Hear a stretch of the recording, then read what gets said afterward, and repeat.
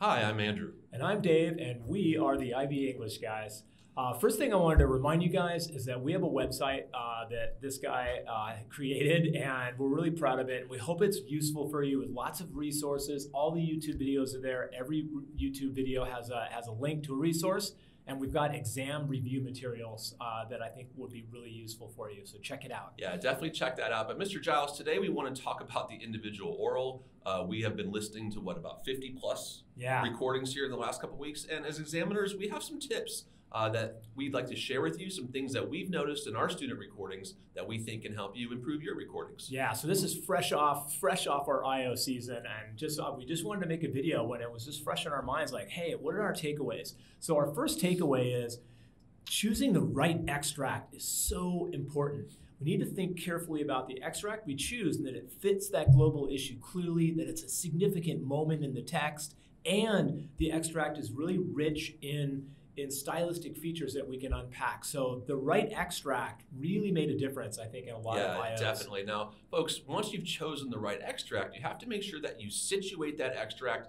and summarize a bit of that extract for the examiner. Remember, you've ripped a page out of your body of work or your uh, or of your literary text, and the examiner's not quite sure where that's come from. So make sure you quickly summarize what's in that passage and situate that, and let that know, let the examiner know how that fits into the work or the body of work. Yeah, that's right, Mr. Cohen. I mean, it's it's a, it's again, even though I was a teacher of those works, it really helped. It helped show me that the student really knew that work and they were able to understand the context of that particular extract. Next thing is watching the clock is so important. And I know that we talk about this in the videos all the time, and we talk about structure, and that might be, you know, we could nitpick and be upset with the, the rigid structure, but students that watch the clock and really had a really mindful idea of how they maintain the balance between the extract and the work as a whole, and how they maintain the balance between the two texts the clock was really the kicker. So make sure your teacher has an iPad or something where the time's really visible, or have your own and ask the teacher if it's okay, because the clock matters. Yeah, the clock does matter. You'll feel better about the clock if you are indeed an expert on both the extracts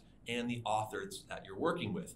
Uh, when we see mean, say mean be an expert, we mean really have command of all the words in your extract. No interesting details about your author in the extract and the works that link to that global issue. So make sure you're an expert. You've done your due diligence. You've done some outside research. You truly are ready to deliver the goods and show all your knowledge. Yeah, that's great, Mr. Cohen. All right, the next one we like is just, just like talk to your teacher you know you're having a conversation. And we had a conversation with a student and then that student was asking for advice because they were having the io with, the, with another teacher. And we're like hey make sure you like talk to that teacher. And you know maybe look him in the eye once in a while and have a conversation that's easier said than done because you're nervous and you have a lot of information to transmit. But just remember, your your teacher and the examiner on the other end is, is listening to you. Yeah, so. we find students who just stare at the microphone aren't really delivering with intentionality. If you look at your teacher, you tend to be communicating in a more natural way. So definitely look at your teacher and think about talking to your teacher.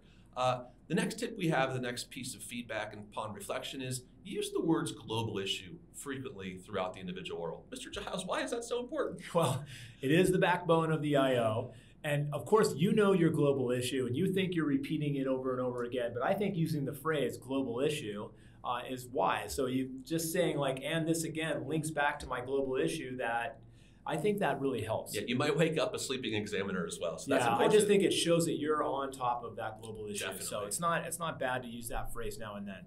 Uh, the ne- I think it's um, the next one is nuances and details. What's that mean, Andrew? Mr. Giles, you know, if you want to talk about you know gender equality, there's a very general answer you can give, and those typically score in the five band. But if you want to take a global issue and truly say something interesting and hit those higher mark bands, you need to show deep insight and look at nuances in the text. You know, think about what have I seen in my research? What have we talked about as a class? Or what have I discussed with my teacher that can really push me to those further mark bands in terms of A and B? Show insight, show nuance look for those details. That's the interesting stuff to discuss during the IO. Yeah, read between the lines. Talk about implications. I mean, that's what we talk about with paper one, the implications of the text. That's great.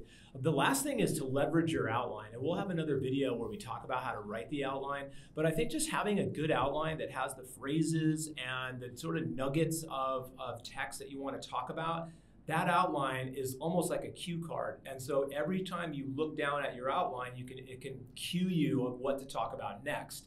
Again, we don't recommend writing a script where you're memorizing a script. The outline is what's helping you, right? And that's going to help you remember all the pieces of your IO. Yeah, there's not really a one size fits all strategy for outlines. We all have different things we need to remember. We That's all right. need different types of cues, so that should be quite unique for every student.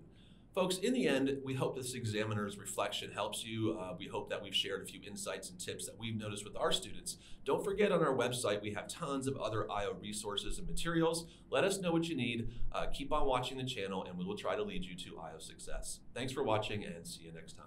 Thanks, guys.